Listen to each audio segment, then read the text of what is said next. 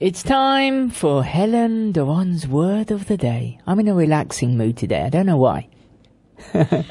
I don't know why either. It's not a relaxing word. The word's creature.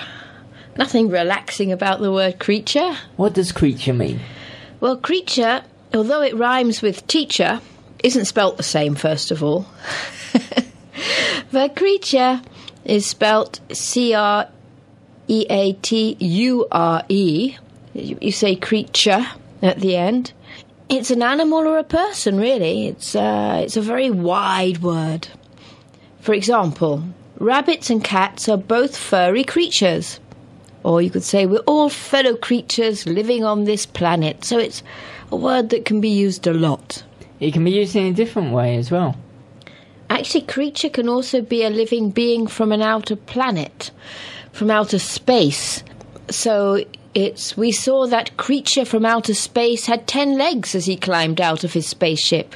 So creatures, you want to throw a wide net and call some something that's alive something, call it a creature, as long as you spell it right. Okay, thank you very much, Helen. My pleasure. Helen